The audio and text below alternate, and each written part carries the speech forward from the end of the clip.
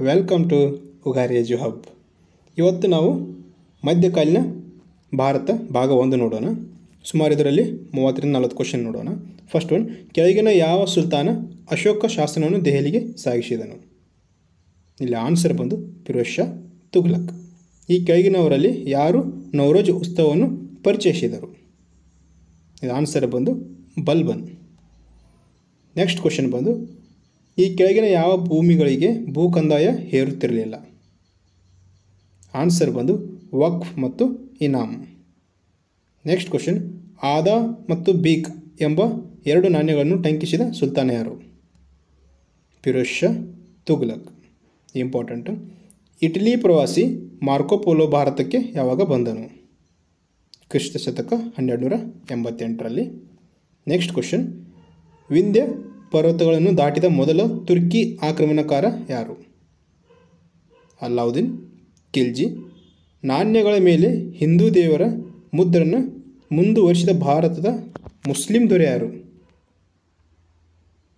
ಕುತುಬುದ್ದೀನ್, ಐಬಕ್. ಈ ಕೆಳಗಿನಲ್ಲಿ ಯಾವುದು? ಪಿರೋಷಾ ತುಗಲಕನ ಆತ್ಮಕಥನವಾಗಿದೆ. ನೀವು ನೋಡ್ಬೋದು ಇಲ್ಲಿ ಫುತ್ಹುತ್ ಇ ದಾರ್ ಉಲ್ ಪಶಾ. ಸಾರಿ ದಾರ್ ಉಲ್ ಶಫಾ ಎಂಬುದು ಒಂದು ವೈದ್ಯಾಲಯ ಅದು. ಮೆಡಿಕಲ್ ಪರ್ಪಸ್ ಇತ್ತು ಅವಾಗ. ಮಂಗೋಲರೊಂದಿಗೆ ಯುದ್ಧದಲ್ಲಿ ಹತನಾದ ಅಲ್ಲಾವುದ್ದೀನ್ ಖಿಲ್ಜಿಯ ದಂಡನಾಯಕ ಯಾರು? ಜಾಫರ್ ಖಾನ್. ಜೆಸಿಯಾ ತೆಲಗಂದಾಯ, ತೆಲೆಗಂದಾಯವನ್ನು ವಿಧಿಸಲು ಸುಲ್ತಾನರು ಹಿಂದೂಗಳನ್ನು ಎಷ್ಟು ಭಾಗಗಳನ್ನಾಗಿ ವಿಂಗಡಿಸಿದರು? ಮೂರು. ಆಗ್ರಾ ನಗರವನ್ನು ಸ್ಥಾಪಿಸಿದವರು ಯಾರು? ಸಿಕಂದರ್, ಲೋಧಿ ಮಜ್ಲಿಸ್ ಇ ಖಾಸ್ ಪದದ ಅರ್ಥವು.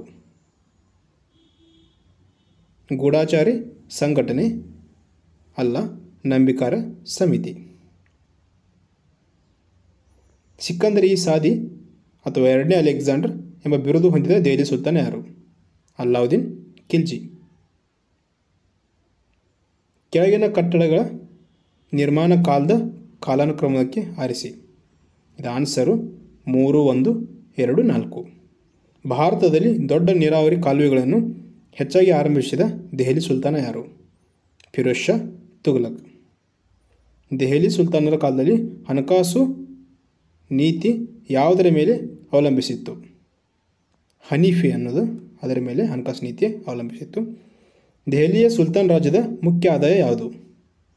ಎದರಿಂದ ಹೆಚ್ಚು ಇನ್ಕಮ್ ಬರ್ತಿತ್ತು ಅಂದರೆ ಅದು ಮೇನು ಭೂ ಕಂದಾಯದಿಂದ ಅಲಾವುದ್ದೀನ್ ಕಾಲದಲ್ಲಿ ಕೆಳಗಿನ ಯಾವ ವಸ್ತು ಒಂದು ಮನ, ಅಕ್ಕಿ, ಐದು ಜಿತಾಲಿಗೆ ಮಾರಾಟವಾಗುತ್ತಿತ್ತು. ಐದು ಜಿತಾಲ್, ಜಿತಾಲಿಗೆ ಅಕ್ಕಿನೇ ಮಾರಾಟವಾಗುತ್ತಿತ್ತು. ಮದುರೆಯನ್ನು ಗೆದ್ದ ದೆಹಲಿ ಸುಲ್ತಾನ್ ಯಾರು? ಮುಬಾರಕ್ ಶಾ ಖಿಲ್ಜಿ. ಗೋಮಾಲ ತೆರಿಗೆ ವಿಧಿಸಿದ ದೆಹಲಿ ಸುಲ್ತಾನ ಯಾರು? ಅಲ್ಲಾವುದ್ದೀನ್ ಖಿಲ್ಜಿ. ಯಾವ ದೇಹ, ದೆಹಲಿ ಸುಲ್ತಾನನ ಕಾಲದಲ್ಲಿ ಮೊದಲಿಗೆ ಭಾರತದ ಮೇಲೆ ಮಂಗೋಲಿಯರು ದಾಳಿ ಮಾಡಿದರು? ಇಲ್ತಮಶ್ ಇದು ಸಹ ತುಂಬ ಇಂಪಾರ್ಟೆಂಟು ಭಾಳ ಸಲ ಬಂದಿದೆ. ಇನಾಮ್ ಭೂಮಿ ಅಂದರೇನು? ಹೌದಾ? ನಿವೃತ್ತಿ ವೇತನ ಭೂಮಿ. ಖಲೀಸ್ ಭೂಮಿಗಳಿಂದ ಕಂದಾಯ ಸಂಗ್ರಹಿಸುತ್ತಿದ್ದರು. ಎದರಿಂದಪ್ಪ ಅದು? ಈ ಖಲೀಸನವರು ಆಗ ಕಂದಾಯನೆಲ್ಲ ಇದು, ಅವರೇ ಕಲೆಕ್ಟ್ ಮಾಡ್ತಿದ್ದರು. ಅದು ಅಮೀಲ್ನಿಂದ. ಇಂಪಾರ್ಟೆಂಟ್ ಫಿರೋಜ್ ಶಾ ತುಘಲಕ್ ಕಾಲದಲ್ಲಿ ಗುಲಾಮರಿಗೆ ಪ್ರತ್ಯೇಕ ಇಲಾಖೆ ಸ್ಥಾಪಿಸಲಾಯಿತು. ದಿವಾನಿ ಖೈರತ್ ಧರ್ಮಾರ್ಥ ಇಲಾಖೆ ತೆರೆಯಲಾಯಿತು. ಅನೇಕ ಕಾಲುವೆ ನಗರಗಳು ಸ್ಥಾಪಿಸಲಾ, ನಿರ್ಮಿಸಲಾಯಿತು. ಆನ್ಸರ್ ಬಂದು ಎಲ್ಲವು. ಖಿಲೀಫನ್ ಖಿಲಾಫತ್ ಎಂದು ರದ್ದಾಯಿತು. ಹದಿಮೂರುನೂರ ಎಂಬತ್ತೊಂದರಲ್ಲಿ. ನಾಣ್ಯಗಳಿಂದ ಖಲೀಫನ ಹೆಸರು ರದ್ದು ಮಾಡುವಂತೆ ಪ್ರತಿಭಟಿಸಿದವನು ಮತ್ತು ಪುನಃ ಖಲೀಫನ ಹೆಸರನ್ನು ನಾಣ್ಯಗಳ ಮೇಲೆ ಮುದ್ರಿಸುವಂತೆ ಒತ್ತಾಯಿಸಿದ ಸುಲ್ತಾನ ಯಾರಪ್ಪ ಅಂದರೆ ಇಲ್ಲಿ ಮೊಹಮ್ಮದ್ ಬಿನ್ ತುಘಲಕ್.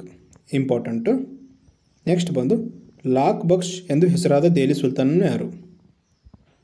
ಕುತುಬುದ್ದೀನ್ ಐಬಕ್.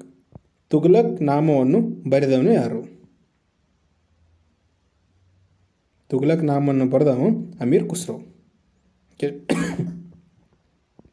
ನೆಕ್ಸ್ಟ್ ಕ್ವಶನ್ ಬಂದು, ಮುಸ್ಲಿಮರು ಕೊಡುತ್ತಿದ್ದ ಧಾರ್ಮಿಕ ತೆರಿಗೆ ಯಾವುದು? ಜಕಾತ್ ಅಥವಾ ಜಾಕತ್.